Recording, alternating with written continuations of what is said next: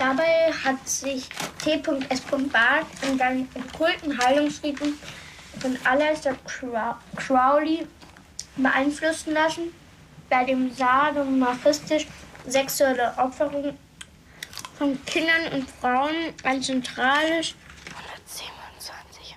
Scheiße, scheiße. Ist es die neuen? Es sind neue Zahlen dazugekommen. Jetzt auch die sieben und die zwölf. Mein Geburtstag. Was? Ja, 7.12.98. Du kannst die Seiten überspringen.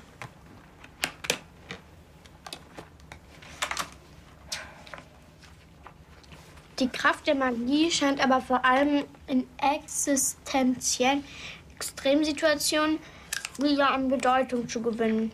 Es folgt ein Auszug aus dem Bericht eines gewissen J.F. Anders, Schuhmacher von Beruf und einer der letzten Überlebenden des kleinen Städtchens Brian Winter.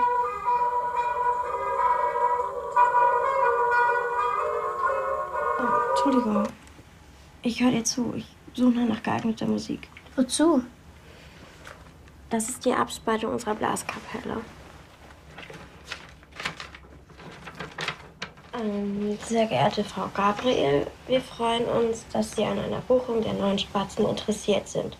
Einmal ein Probemitschnitt, wobei wir betonen wollen, dass Beerdigungen nicht unser Spezialgebiet sind.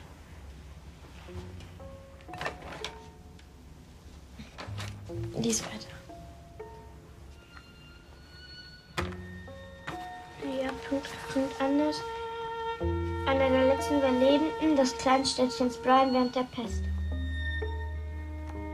Gibt es nur eine Möglichkeit, sich dem geheimnisvollen Spuke zu entziehen.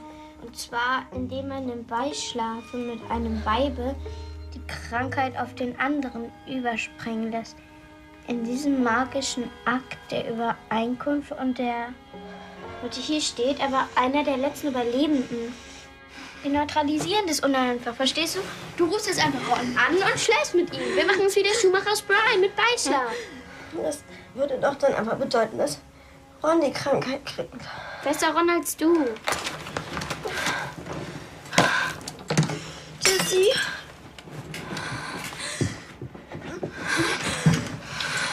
Papa! Papa!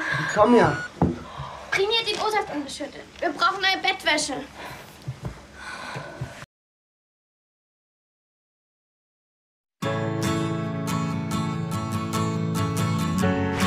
So lange Beine haben wie die anderen? Aussehen ist gar nicht so wichtig. Im Leben zählen andere Dinge. Sie hat immer so gute Laune. Ich wünschte, ich wäre schwanger. Schwanger haben einen schönen Mann und ein schönes Haus. Wie geht's, Sabrina? Oh Gott, da haben ein paar kleinere Komplikationen. Schreibst du deine Memoiren? Ich sterbe noch vor Lachen. Gabriel, Sie sehen doch schon wieder so blass aus. Kann ich Sie bei einem Abendessen bei mir vielleicht ein bisschen aufpäppeln? Sag mal, ist das, was du hast, eigentlich irgendwie besser geworden? Du bist also bei mir, weil du im Englischunterricht laut geschrien hast. Ich hoffe doch auf Englisch. Bis zum nächsten Mal legst du bitte ein Zwangtagebuch an. Und dazu notierst du alle Zwänge samt Datum und Uhrzeit. Alle. Natürlich, alle. Wenn Sie alles gesagt haben, was gesagt werden musste, dann wird Ihr Tod Ihr größter Höhepunkt sein. Jetzt sei doch mal ein bisschen selbstbewusster. Jessica, glaub an dich. Hi, ich bin eine Badehose. Das ist mein Buch. Jetzt gibt's. Kannst du kommen? Sie will die Ehe mit dir vollziehen. Da draußen steht ein junger Mann, der sagt, er sei hier, um die Ehe mit Sabrina zu vollziehen. Kommst du öfter her? Wenn ich den Kopf reinkriegen muss. Sag mal, kann das Auto eigentlich auch fahren?